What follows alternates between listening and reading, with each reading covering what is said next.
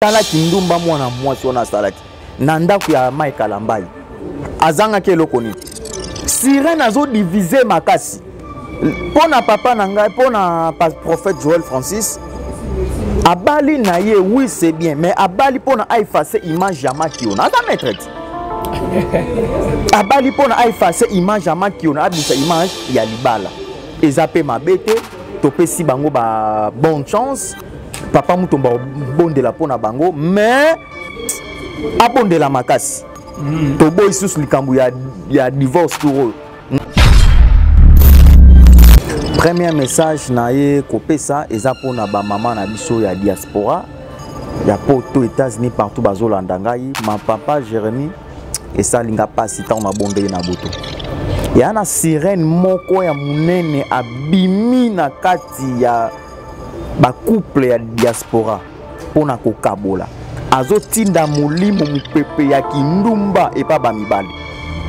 esprit ya division esprit ya badivorce moto azotinda milimo wana ya badivision eza sirene wana nabondeli mpo na mboka na ngai nasimbi drapo ya mboka nazali komona mokonzi ya mboka baza kolatisa ye potopoto ya salite kola alobi na ngai fixe misu bien na fixe misu kola alobi na ngai eza ye te entourage na ye nde bazolatisa ye potopoto ya salite me mopanzi na ye namoni ye mibale alati elamba ya pembe pembe aza na ye propre oh, na to nzambe elingi eloba nini nkolo alobi na ngai aza moponami na ngai mais entourage na ye eza bien te bazolinga basalir ye banuire image na ye mais bondela mpo na ye pembe oyo omoni ebima na polele mpe na posa mokonzi ya mboka akende na kamba te nazo koadresse na mokonzi ya mboka achange entourage na ye entourage na ye nalo tiribeleke eza kombo kozala sterilité eza kombo kozanga mokanda eza kombo mais ya na kombo moko elongolaka bakombo wana nyonso c'est le nom de jésus christ de nazareth soki na famille na bino baloka yo baimilia yo ma, mama na yo atikala motakala mama mpo aloka oyebisa ye aa na retard ya na elombe mobali moko jeune homme ya 33 ans atikala na ekolusu mpo ete ngana otobika tozwa bomoi bwa lobiko esase na jésus christ de nata ya baluka elongi na nzambe tala évangile ndenge ekomi kokende bakindingi baza so na crédibilité ya basali na nzambe te mondimi mosusu kutu akomi na ye kopréféré kosambela na ndako offrande na ye mime mpo nakabela na ngai baprisonnier mpo na nini eza biso moko bazala imi bazala imi baluka elongi na nzambe nzambe akozala kati na bango mpona bapaster oyo bazoloba ke ya minene ezoya non eza mabe kosepela na malheur ya moninga te motakalisation ya moninga te eza erreur oyo ekomaki bible elobi na ngai soki okwei mai 1000 fois telema continue chemin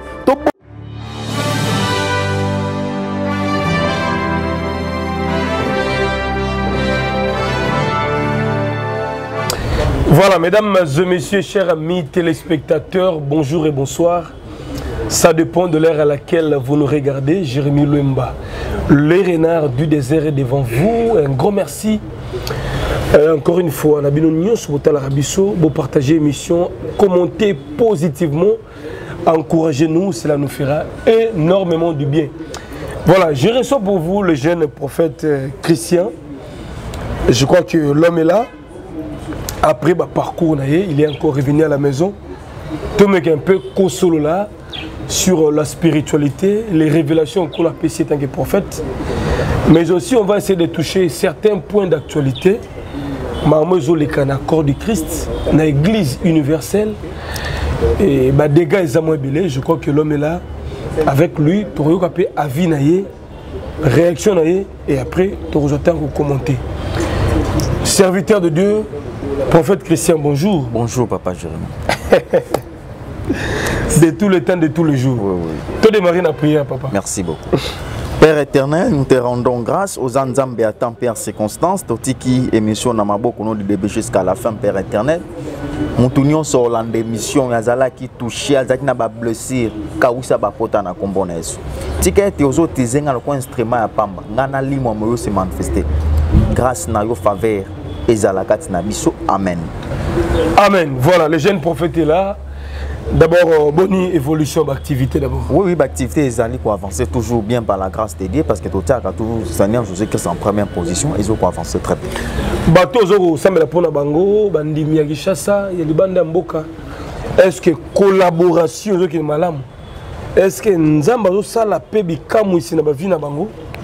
oui oui merci papa jérémi mpona motuna ya biso ya nzambe ezalaka lokola ya banganga te ke oye osengi 100 000 dollars lelo bapio mpe lelo oyo ya biso ya nzambe ezalaka malembe malembe malembe nzambe azosala donc avec euh, le temps et puis na patience na patience nzambe azosala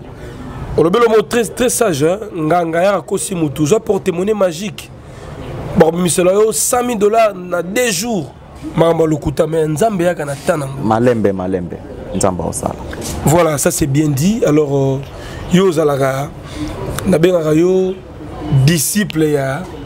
adi na bala les, les, les successeurs valables des musées d'Inabal. Voilà, donc vous allez hériter. Oui, oui. Alors, je crois que oza pe moto ba révélation oza moto ba prière pendant ce temps ndenge osambeli est ce que nkolo apesi quand même message oui oui merci papa jérémi ngai nayaka na tandoki epamba te ti omoni ngai boye seke na ye na message premier message na ye kopesa eza mpona bamama na biso ya diaspora ya poto états-unis partout bazolanda ngai ma papa jérémi esali nga mpasi ntango nabondeli na butu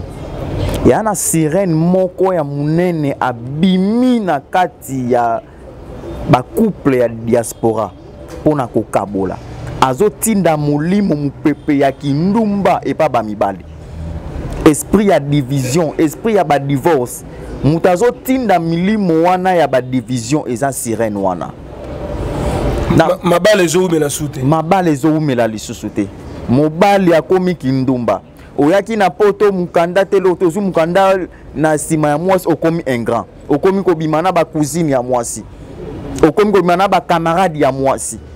pidere kindumba mibali bakomi nango kopanza mabala bato baincomprehension kokanga mibasi na kisi kola alobi na ngai sirene yango alingi nini aza na aye na mission bato bazala attache te alingi te bato bazala bomoko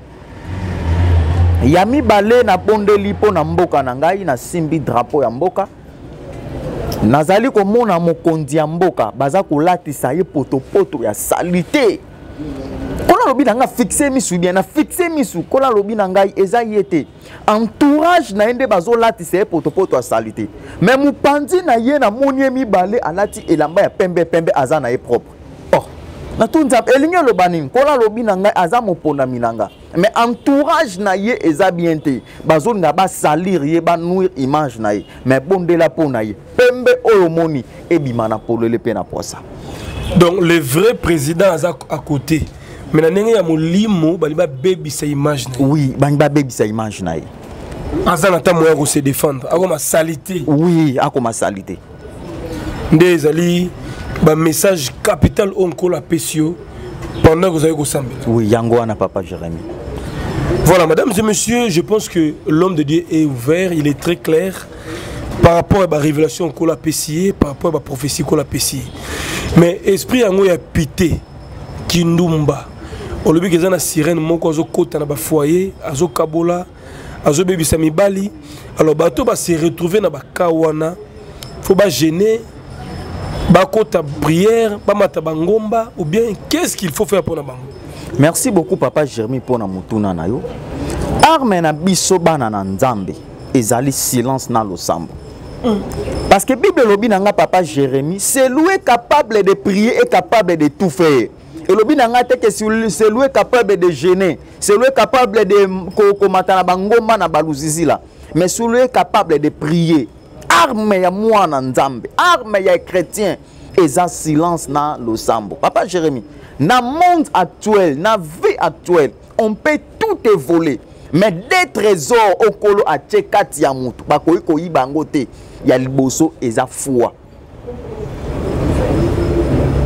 parce que mutu oyo aza na foi azala lokola liboma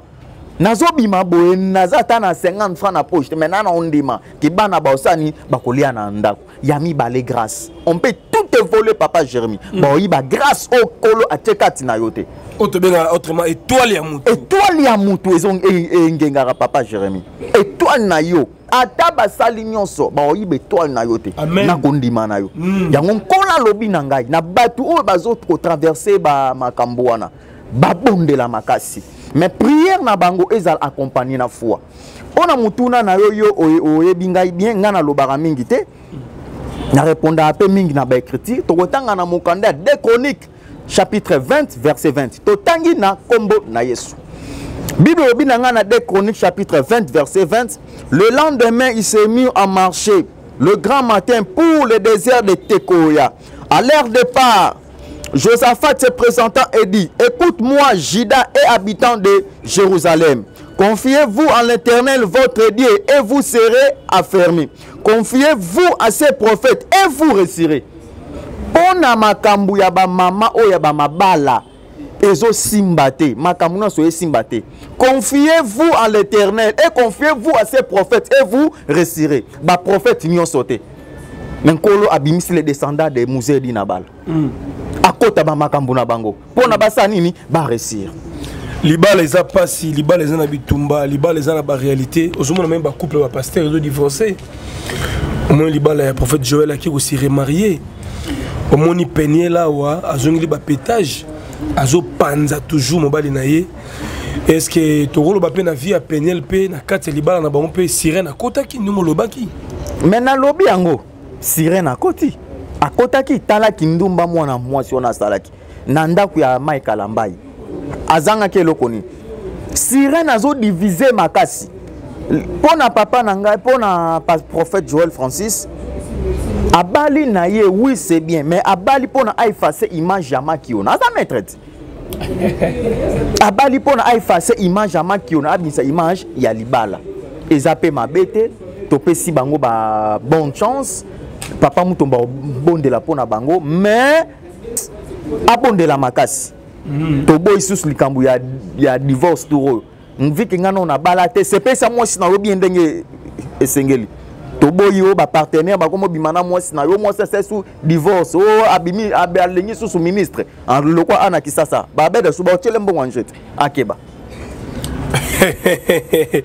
lisolo ya libala ya plusieurs révélations alors opesaki des messages sur les mariages et puis sur euh, la vie ya mokonzi ya mboka alors ndenge ozomonela congo na bacrise sociale bamanka bacarburant baeglize ebele partout musique makelele ba veiller ba retraite mais changement makasi na mboka eza te eloko nini ebloke mboka oyo mokonzi ya mboka il faut asala nini achanger ceinture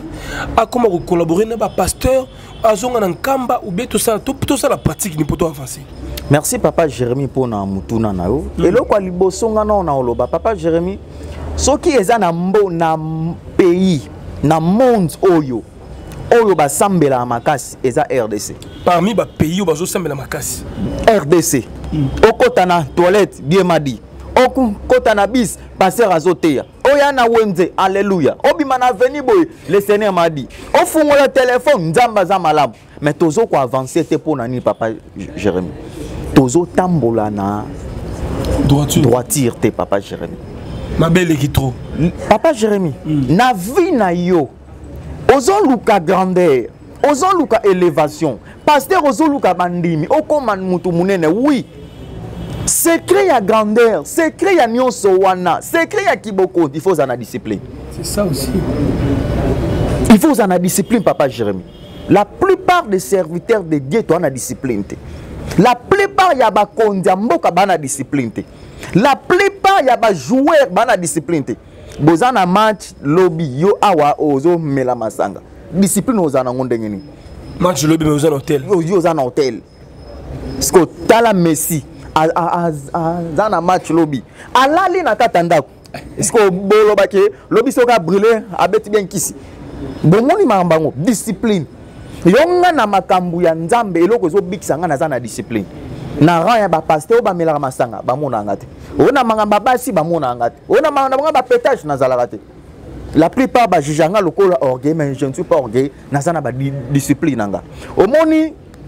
concernant makambo oyo owuti koloba euh, papa jérémi pa, mokonzi ya mboka akende na kamba te nazo koadresse na mokonzi ya mboka achange entourage na ye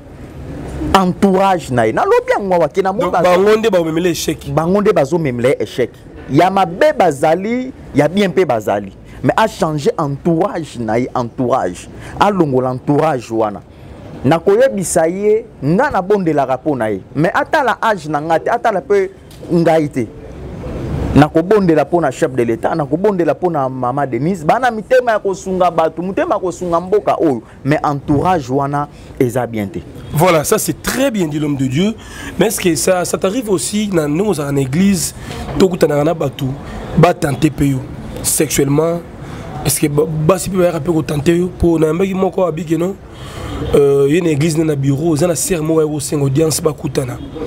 sere yango akoti na église ntango asaleleka prière sere yango akwei ataki jipe mbala moko akangi porte atomboli jipe azalaki ni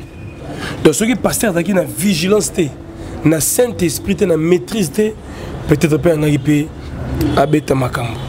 sikoyo aboyaki nayabi te protocole Bon récupérer c'est au bout de libanda. Mon que non le diable est venu lui tenter. Est-ce que il peut tenter à payer? Oui oui papa Jérémie ba tenter ngai naza mutu ba tenter ngai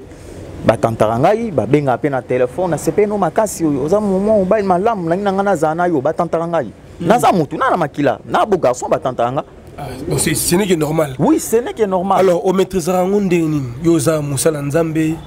face à l'argent face à basi ocontrôla yango ndenge nini cle ya nyonso wana kaka nde nalobi na yo ya liboso secret na ngai ezalaka discipline ya mibale saint esprit ya misato koyeba place na wuti na place nazokende papa jérémi kokamba 50 personnes bavandeli o na église papa jérémi eza chose facile te naotala baame wana lelo ngai so nabungi baame wana eke wapi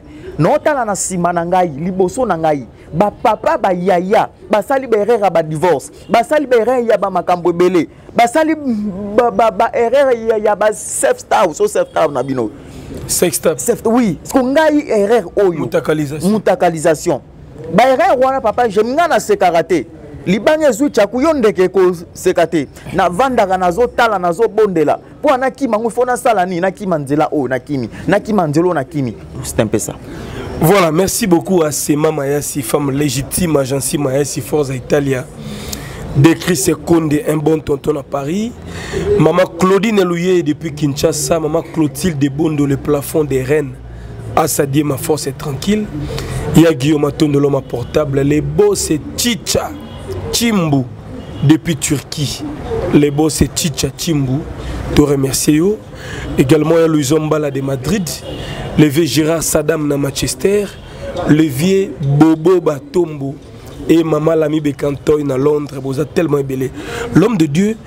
mpo na bandeko oyo baperdre espoir na vie na bango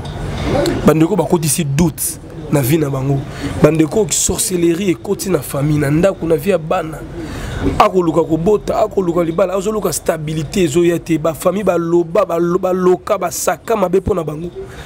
bato ya bongo baperde espoir na vie na bango face na yo okoyebisa bango papa merci beaucoup papa jérémi eloko na koloba na bango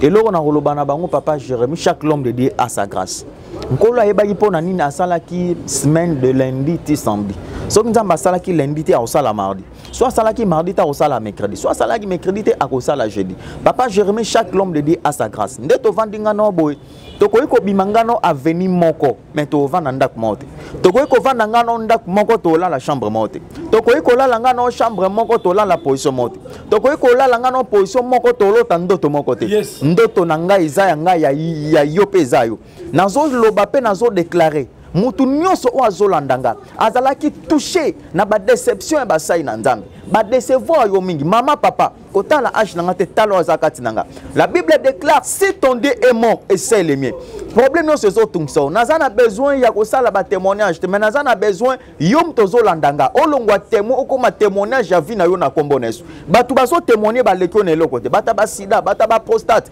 meme bapaster nabondela meme mpo na bapaster oyo balandaka nga fule eza te na église makambo e, e, eza te na église nabondelaka mpo na bango wana nyonso ya na mama moko olanda ngai ah, baaventurier nameka kuta intel esimba te mama mikolo na mikolo esali nini ekokani te meka na nzambe na nga okozala desi te mama bible nzambe ayebisi abraham je te donne ce pays et ta prospérité toutes les nations de la terre seront bénies par toi abraham nga naosala nzambe oyo atambolaki na ntomba mozeli na bala naosala nzambe oyo atambolaki na baabraham wana nyonso ye nde nzambe lokolo mpe discipline oyo nazolanda ozalaki desi na basali na nzambe mama problème na yo eza kombo malaria eza kombo sida eza kombo tirbeleke eza kombo kozala stérilité eza kombo kozanga mokanda eza kombo mais ana kombo moko elongolaka bakombo wana nyonso c'est le nom de jésus christ de nazareth soki na famille na bino baloka yo bahumilia yo ma, mama na yo atikala motakala mama mpo aloka oyebisa ye ana retard e ana elombe mobali moko jeune homme ya 33 ans atikala na ekulusu mpo ete ngana otobika tozwa bomoi bwa lobiko et ça c'est non jésus christ de nazareth voilà merci beaucoup ndeko na ngai mais quelles sont les conditions opesaka bato so babengi yo mpo na prière mpo na dialogue mpo na prophétie mpo na échange bacondition no ezalaka nini parce que chaque pasteur lelo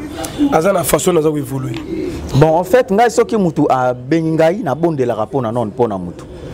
likambo ya motu mosusu ekosenga tomata na ngomba papa naza na ba intercesseur mosapi moko esukolaka elongi te papa jeremi nene obi toa na bagrâce oyo ekeseni baintercesseur wana baza so 40 kozwa bana bato komata na bango na ngomba kolia na bango banda 5 jours transport na bango nyonso na bango nyonso wana misusu kutu nga moko nazwaka charge totalaka mpe ka par ka ka mosusu esenga meme nga mona bondela mpo nango ka mosusu esenga tosangana to, to biso ebele tosala nini tobondela mpo na yango condition na yango ezalaka ya liboso ezala nao na foi ya mibale longola nanu nabondela paster intel ameka esimba te non nga so benga aza na ondima esimba donc koevite na bacomparaison oui oyo nazalaki pa x pa y eh, nga utu bamakambo wana utu tika nga ntango obenga pose nga ka na yo nabondeli mpo na likambo na yo nga so nakoti yango nzambe ifo asala parce que nzambe akosala il faut ozala mpe na discipline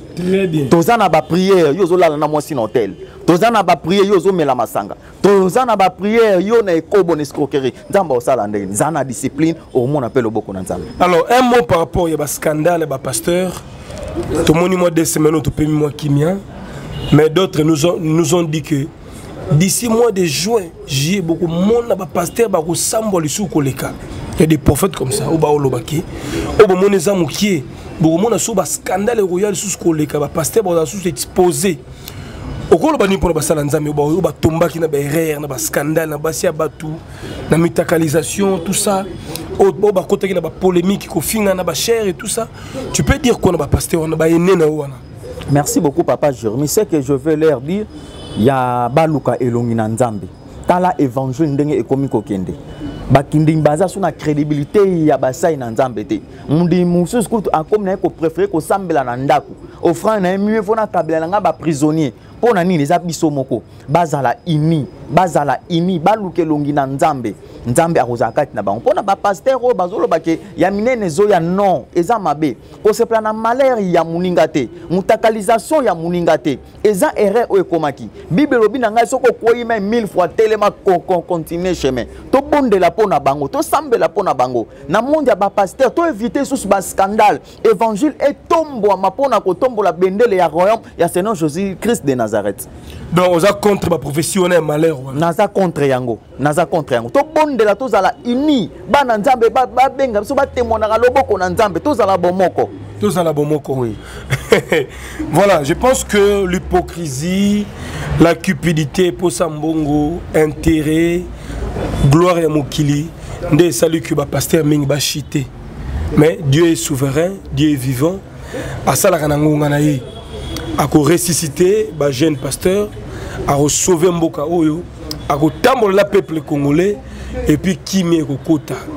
mikolo omoni bambula ezomenase chaque jour est ce que ezali na signification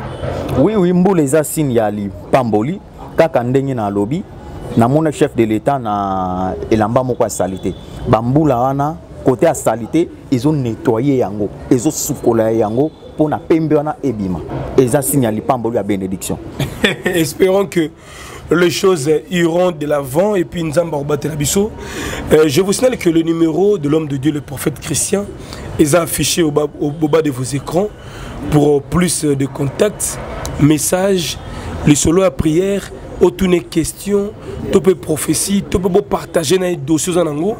mère mwa bengalo dernièrement azosenga ngai ah, nazoluka mosala nzembo moko ya vrai nakutani na mobali moko ya mondele alinga mingi mais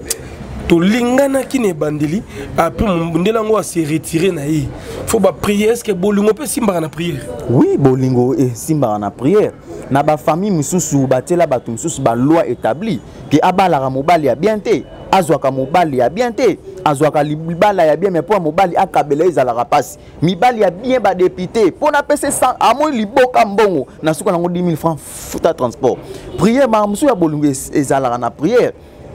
na bafamille mosusu eya na balwa bagoliate batyela bango na kati ya famille okende oke libala ya ministre yo obotaka te ozwi susu pdg yo obotaka te wi abenga ngai na kobondela mpo na ye baka ya bongo bobenga tokobondela mpo na bango donc bolingo mpe ekotaka mpe spiritualité mais oui esenga mpe prière bafamille mpe edéclara edéclara oui oui badéclaration eza makasi baloi établi na kati ya bafamille famille ngai nabotami baloi eza yo obotami baloi eza na balien na balien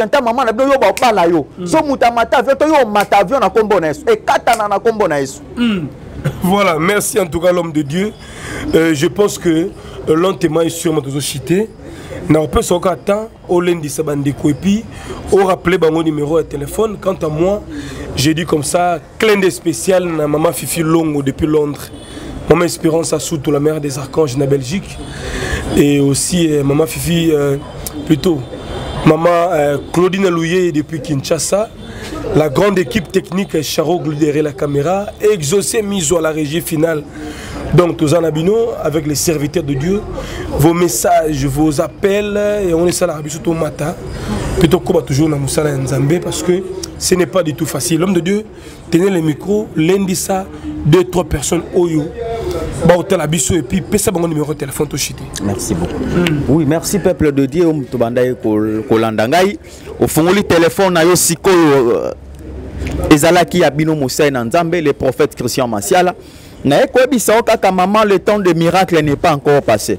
le temps de miracle n'est pas passé mama papa nzambe oyo atambolaki na musée edi na bala ye oyo azotambola na nga je suis le descendant de musée edi na bala mama papa kotala age na nga te talo aza kati na nga basali na nzambe balekaka awa ebele me ndenge olanda nga esprit moko ezoloba na yo zwa nimero ya mwana oyo zwa nimero ya mwana kotala age na ye te koyoka makambo ya bato te zwa nimero ya mwana oyo zwa nimero na nga benga nga problème ya sida oza nango problème ya prostate oza nango nyonso etungisa yo mama papa nzambe nga na bonzelaki bolenge akokota makambo na yo na nkombo na yesu nzambe nga na bonzelaki bolenge kotala age na nga te kotala apparence te mama papa mwana moke abetaka mbunda bakolo mpe babinaka tokotanga moke na mokanda ya genèse chapitre 12 tozwi na verset 3